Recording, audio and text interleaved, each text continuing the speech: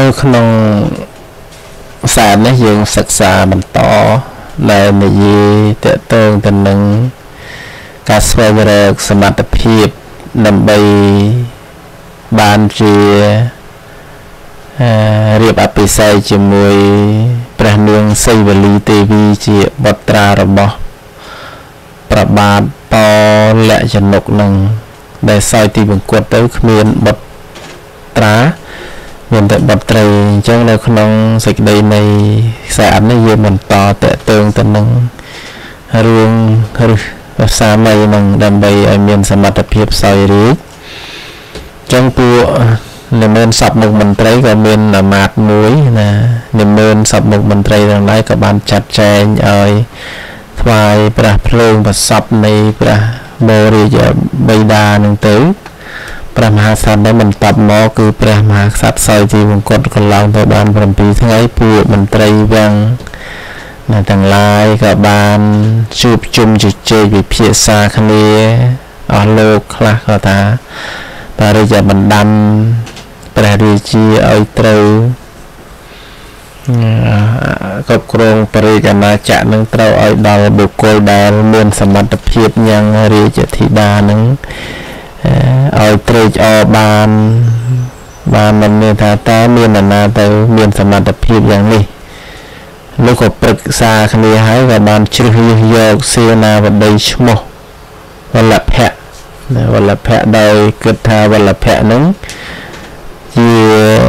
សេនាបតីវលភៈនឹងអាចញ៉ាំងព្រះរាជធីតាឲ្យត្រេកអរបានឬក៏បានបញ្ជូនដំណឹងទៅជំរាបលោកអាមាត្យវលភៈនឹងបន្ទាប់មកគឺបានលឺដំណឹងភ្លាមយាមនោះឯងសេនាបតីនឹងក៏យល់ព្រមហើយក៏បានធ្វើដំណើរទៅដើម្បីទទួលរាជសម្បត្តិនោះដល់ទ្វារព្រះរាជវាំងបាន ប្រើទាហានឲ្យឡើងទៅក្រាបទូលដំណឹងដល់ព្រះរាជធីតានឹងដែលថាខ្លួននឹងមក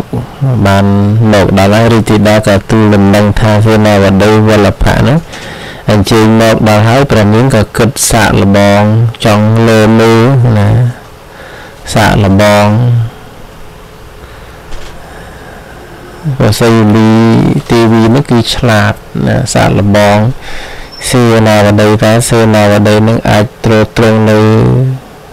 ស្វេតឆ័ត្រដែលសេរីសួស្តីបានឬមិនបានហ្នឹងក៏ព្រះនាងនឹងបំរើអញ្ជើញឲ្យសេនាបតីចូលកលប្រញាប់លោកបានចូលព្រះនាងអនុញ្ញាតឲ្យចូលកលហើយដូច្នោះហើយក៏លោកសេនាបតីមានដំណងញ៉ាំងព្រះនាងឲ្យកັບអាហារទៅសបាយត្រេកអរហ្នឹងក៏ ចបិចចបិចបានន័យថាជាបាច់លេងប្រឡែងលេងលុះឡើងទៅកលបរិជាទីដាហើយក៏រាជដំណាក់របស់ព្រះនាងភ្លាមនោះព្រះនាងបានប្រវិចបំណងសាកល្បងដល់សេនាបតីនោះដោយបញ្ជាឲ្យសេនាបតីនោះរត់នៅក្នុងមហាមហាឋាននៅក្នុងវងណា សាលប្រជុំសារមន្ទីរនឹងឯងឲ្យអាមាត្យនឹងរត់ណាចឹងគឺ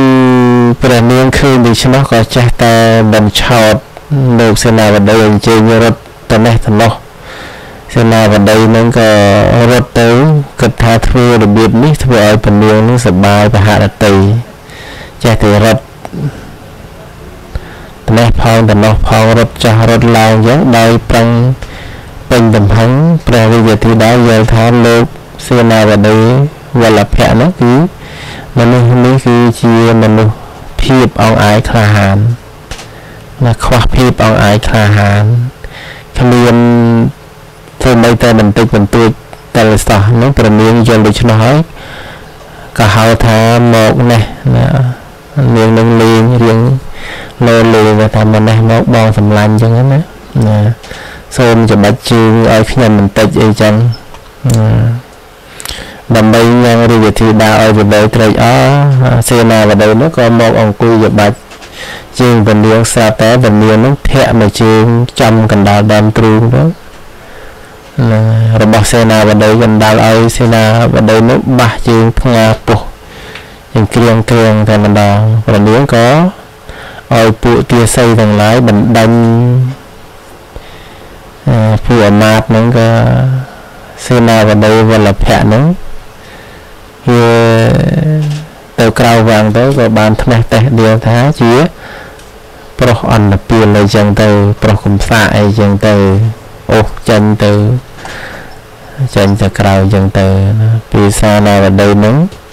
ចេញទៅខាងក្រៅពួកនិមន្តសັບមុខមន្ត្រីសាកសួរតើមានរឿងអ្វីកើតឡើងសេនាបតីក៏បានអឺ កំសួរខ្ញុំកំដេញដល់ខ្ញុំរាជធីតានោះជាមនុស្សយក្ខិនីមិនមែនជាមនុស្សស្រីធម្មតាទីវីណាមិនមែនជាមនុស្សស្រីធម្មតាទីវីណាទេវតាបដិប្រាប់បន្តមកក៏កាន់ទៅខ្លាំងតែម្ដងណាអ្នកកាន់ខ្លាំងទៅទៅនោះក៏ត្រូវពរិយធីតាធ្វើដូច្នោះទៀតណា បានន័យថាពួកសេនាសេនាវតីនោះគឺអស់ហើយក៏បានចាត់ថាវាមិនអាចទៅរួចចឹងណានឹងនាងនាងនឹងមិនសពហារតីថានាងនឹងជាយៈកិនីអីចឹងទៅចឹងបានយកនាយឃ្លាំងទៅម្ដងនាយឃ្លាំងដែលកាន់ឃ្លាំងហ្នឹងគឺត្រូវរាជធីតាធ្វើឲ្យអាម៉ាស់មុខដូចគ្នាដែរ មិនតបមកសេដ្ឋីមន្ត្រីកាន់ធ្វើឆាត់មន្ត្រីកាន់ប្រខណ្ឌមន្ត្រីទាំងអស់នេះក៏សុទ្ធសឹងតែទៅបរិយាធិតាធ្វើឲ្យអាម៉ាស់មុខគ្រប់គ្រប់គ្នាដូចសៀនាបតីវលភៈដូចគ្នាដែរអញ្ចឹងគឺការរឹសអ្នកស្នងរាជនឹងដែលអាចរៀបអភិសេកជាមួយសីលីទីវីនឹងគឺអត់បានទេណាអញ្ចឹងគឺ មានតែមួយយ៉ាងនៅក្នុងសម័យនេះគេហៅថាពិធីផ្សងបុសរតណាពិធីផ្សងបុសរតណាផ្សងបុសរតចឹងការវិធីសោបោះសរតនោះគឺការមួយពួកអាមាត្យទាំងឡាយក៏បានប្រជុំពិភាក្សាគ្នាហើយក៏បានអឺមានសមត្ថភាពញ៉ាំងបរិជាតែឲ្យត្រេកអររកពំបានហើយក៏យើងអឺ ដោយបុគ្គលណាដែលមានសមត្ថភាពអាចលើកធ្នូសហស័កធម្មធម្មធ្នូនឹងគឺបានណាក៏រកនរណាមួយដែលមានសមត្ថភាពលើករួចពំបានបន្ទាប់មកក៏ជួអាម៉ាត់ប្រឹក្សាគ្នាថានឹងឲ្យរាជ ដល់បុគ្គលណាដែលនឹងដឹងក្បាលដំណេកនៃបល្ល័ង្កជ្រុង4ហើយក៏មាននរណាដឹងអំពីក្បាលដំណេកនោះទៀតបន្ទាប់មកភូអាមាត្យប្រឹក្សាគ្នាថានឹងឲ្យរាជសម្បត្តិដល់បុគ្គលណាដែលដឹងនៅកំណប់ទាំង16ហើយក៏គ្មាននរណាមានសមត្ថភាពដឹងកំណត់ទាំង16នាទីបន្ទាប់មកអាមាត្យប្រឹក្សាគ្នាណា ថាមនុស្សគ្នាយើងស្ផែនដីយើងគឺអត់ស្ដាច់មិនអាចទៅគង់វងបានទេដូច្នេះយើងត្រូវតែរកមធ្យោបាយអ្វីទៀតដើម្បីរកគ្រានោះឯងបរិហិតម្នាក់បានប្រាប់អាមាត្យទាំងនោះមកពិតលោកអ្នកដែលចម្រើនទាំងឡាយលោកកុំគិតខ្វល់ឡើយណាគួរណាស់តែយើងនឹងធ្វើវិធីបោះណាវិធីរត់បោះស្បុកណា វិធីរត់បោះស្បុកដើម្បីផ្សងរកអ្នកមានបុណ្យដែលមាន សមត្ថភាពគ្រប់គ្រងរាជអាណត្តិទូទាំងចម្ពោះទ្វីបយើងនឹងទទួលបាននៅព្រះរាជាដែលមានសមត្ថភាពតាមបំណងប្រាថ្នាពំខានឡើយអញ្ចឹងពួកនិមន្តសពមុខមន្ត្រីនឹងក៏បានចូលស្របអញ្ចឹងក៏បានរៀបចំនៅឲ្យគេតបតែងនៅលំអដល់លំ គ្រប់នគរហើយទុំសេះមានសម្បុរដូចជាផ្កា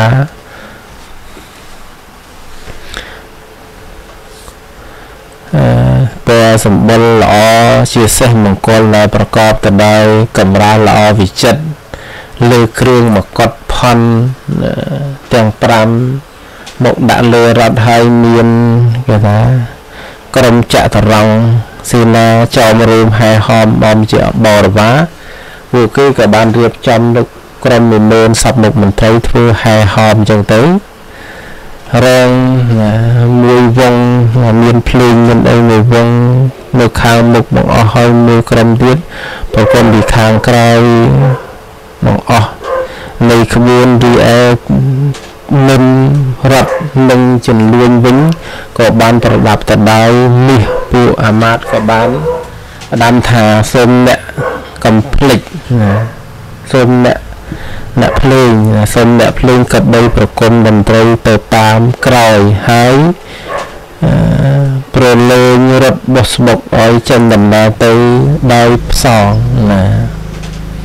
ដោយផ្សងថាបុគ្គលណាមានបុណ្យសោយរាជបានចូលកាន់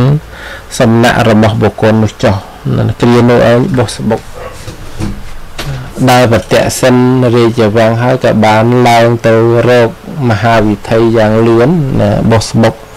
រត់ចូលទៅនៅកម្មមហាចំណុអញ្ចឹងគឺយើងក៏បីបានជ្រាបថា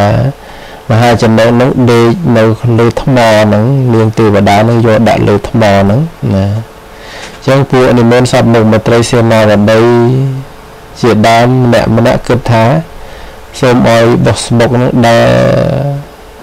សំដៅមករកទីលំនៅឋានរបស់ខ្លួនរៀងរៀងរាល់អាត្មាដែលគិតណាក៏ប៉ុន្តែមិនដូច្នោះឡើយរត់បោះស្បុកនោះបានធ្វើហ៊ូសអំពីផ្ទះរបស់ខ្លួនអស់ពួកមន្ត្រីនោះរួចហើយក៏ប្រតិសិននគរចេញទៅតាមទ្វារនៅខាងកើតឆ្ពោះទៅរកអូសៀនកាលបើឃើញបោះស្មុកដែលតម្រង់ទៅ អូសៀនលឿនដូច្នោះពួកអាមាត្យប្រាប់ឲ្យគេបំបែមកវិញលោករហិតស្រែកចំទាស់ណាកុំឲ្យបំបែសោះណាកុំបំបែទុកឲ្យវាទៅតាមដំណើរចម្ងាយប្រមាណជា100យោជណាសិនកុំអើរៀបរាំងណាចឹងបោះស្មុកចូលទៅកម្មជាហើយប្រតិសិនផ្ទាំងមង្គលសិលាលុះរៀប រែហើយក៏ឈប់នៅមួយកន្លែងបរហិតមើលឃើញមហាក្សត្រណាមហាមហាជននោះកំពុងតែផ្ទឹមនៅលើទីនោះក៏ហៅអស់ពួកអាមាត្យមកប្រាប់ថាអស់លោកអស់លោកឃើញទេបរោះមណៈកំពុងតែដេកលើផ្ទាំងថ្មមង្គលសិលាមានមានពិតប្រកបមែនប៉ុន្តែប្រាជ្ញារបស់ គេអាចសំគួរដល់ស្វេវិឆ័ត្រដែរឬក៏អត់នោះយើងមិនតាន់ដឹងបានម្លាយទេណាបើសិនបើបរោះនេះប្រកបជាជាក់ថាជាមនុស្សមានបុណ្យវាសនាខ្ពស់មែននោះគេនឹងមិនក្រឡេកលើយើងឡើយតែបើជាបរោះកាលកណី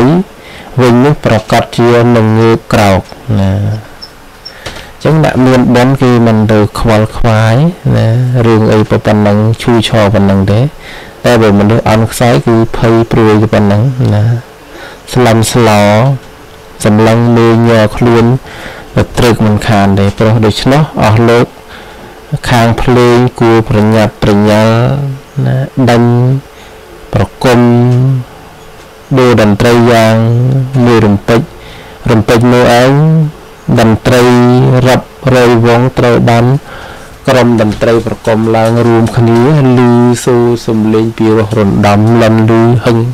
ត្រហឹងអឹងអាប់ព្រៀបដូចជាសំឡេងរលកនៃបោកបក់នៃមហាសាគរដូច្នោះឯងណាអញ្ចឹងគឺសេចក្តីនៃ រឿងប៉ុណ្ណឹងគឺញាតិញោមជាពុទ្ធបរិស័ទអញ្ចឹងពួកអាមាត្យពួកមន្ត្រីទាំងឡាយទៅដល់អញ្ចឹងទៅវាដឹងថាអ្នកមានបុណ្យហើយបោះសម្បុកហ្នឹងក៏ឈប់នៅកន្លែងហ្នឹងតែតែមិនដឹងថាបរោះដូចនៅហ្នឹងតើជាអ្នកមានបុណ្យជាអ្នកមានប្រាជ្ញាស្មារតីយ៉ាងណាគឺអត់ដឹងទេអញ្ចឹងបានឲ្យគេបគុំតន្ត្រីលិនរំពងអើងកងហ្នឹងទៅក៏ប៉ុន្តែមហាចន្ទៈហ្នឹងគឺមិនបានណា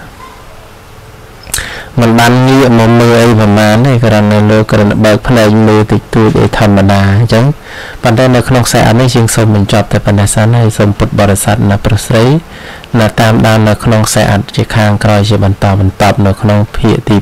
9ដែលយើងនិយាយអំពីមហាជននោះឡើងក្រុងរាជនៅក្នុងក្រុងមិថិលានឹងមានការរៀបអភិសេកជាមួយព្រះនាង ស៊ីវលីទីវីជាដើមចឹងនៅក្នុងខ្សែនេះសូមបញ្ចប់តែប៉ុណ្ណេះនៅក្នុងខ្សែអាទី8នេះណាសូមណាក្រាបថ្វាយបង្គំលានិងចម្រើនពរលា